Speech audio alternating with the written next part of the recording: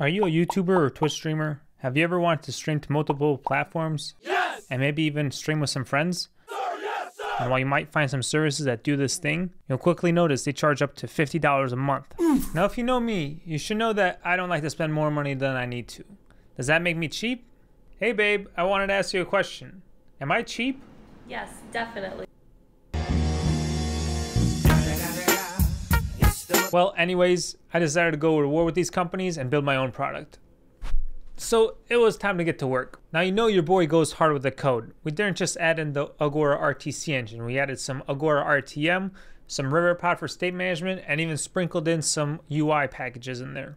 We had to use the Agora RTC engine in order to handle anything to do with the video call. We had to use Agora RTM in order to control the users and let the director handle everything.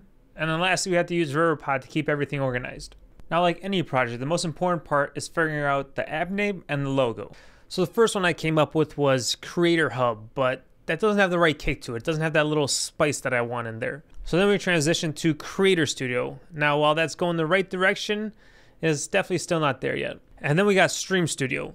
Now, while I like the alliteration, it still doesn't seem like a billion dollar Silicon Valley startup. Then we got the Streamer without the E at the end. Now this this is looking good, but just maybe slightly too much Silicon Valley. Then lastly, we ended with the name Streamer with the E in there, you know, to look a little professional. Now this next part's not much easier. The logo was kind of a mess. The first iteration, I thought it was going great. Then I looked at it at the end, and What are those? so I slowly kept iterating and iterating and iterating, trying to fix that stupid R. And the end result looks like this. Now I still don't know if I like it that much. I feel like just this regular font might look a little bit better, but this was made with love and passion, and we're gonna keep it as a logo. So the next part we move on to is the design. Now I'm not a great designer either, so this this part was a little challenging as well. So this is what I came up with. The app's called Streamer. This is the main screen. You get to decide whether you want to be a director or a participant. We'll go over what that means a little bit later. So if we click participant, go into this, you can type in a channel name and you join the channel. It seems like a regular video call. But if you join as director, you'll see this app's a lot more than that. So you create the channel here, and this is the type of screen you get. So these are all the participants that are within the call, and you have full control over their audio, video, whether to bring them to the lobby or to the main stage. So when the participant first joins, they'll join down here, and you can bring them into the main screen, and the stream will adjust to include them in the stream as well. And you can add stream destinations. You can add a YouTube or a Twitch destination, and select which one you want to add and add that in and stream to multiple destinations with multiple people in the call. And then when you start the live stream, you'll go into a very similar window that will tell you that you're live and you'll still have the same control that you had in the previous screen. I got to work on this for a couple weeks and came back with this. Oh, come on. Give me a break. It's not that easy to build a nice UI on the first try. And after some more iterations and working hard to increase my design skills, I came up with this. So this is the final result. This is what the app looks like. You can create a username here. For this one, since we're to be the director, it doesn't really matter, but then we can pick a channel name. So let's just pick Tadas as a channel name here. I'm to jump in as a director. So you'll get asked if to want to record video and pictures. So while using the app and audio as well. And we can join, we'll see an empty stage and an empty lobby. Now I have a second device, so let me put the info in there.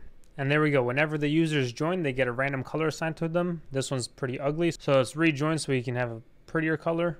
There we go. This one's nice. So now, as the director, we can bring them into the stage. If we click this button over here, it brings the person in, and you can see them in here. And we have full control. We could mute the person. We can turn off their video, and it shows video off. And then we can bring them back into the lobby if we want. And down here we have two options. We could start the live stream or we could end the call.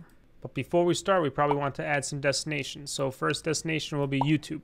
So we're gonna go to YouTube Studio. We need the stream URL and the stream key. So copy the stream URL, paste that in there. Copy the stream key, paste that in there. Now don't try to stream with that. I'll be resetting it right after this video, but we could add that in. And here we see YouTube as a source. So let's bring this person back into the stage and start the live stream. You'll see the button changes to end the live stream instead. But while we're waiting for that, we could test other stuff out. You notice I can mute myself on the participant device and it will update the state here. I could turn off the video and I could turn the camera around, but you'll see my fan. Fantastic. So there we go. You can see the stream is now working on YouTube as well. You can add more platforms so you can stream to multiple destinations. You take the person off of there and you'll see this will update. I think it'll just stop because it has no more stream data. I'll just pause. Yeah, there we go. And you can bring them back in. And after some time, they'll show up here again. You can add more users while you're live. It'll be updated in the stream and, and it should all work pretty nice. Now this seems like such a complex and big project, but honestly, it wasn't that crazy with Agora. It's mostly just setting things up and really understanding the API and plugging things together. All it really comes down to is displaying the video and then sending the message between the users. So that's Streamer, the unicorn billion dollar company coming to Silicon Valley in 2022. Even though it's open source with no plan to make any money, it's definitely going to the moon. But the nice thing is it's open source. So if you guys want to come work on it, make it even better, I know Flutter Web is coming soon to Agora, so maybe we can implement the same thing with web. And if you're a creator looking for full control of your application, feel free to use this. By the way, make sure to subscribe to the Agora YouTube channel because I'll be making a full course about how I built this application and you'll be notified on there.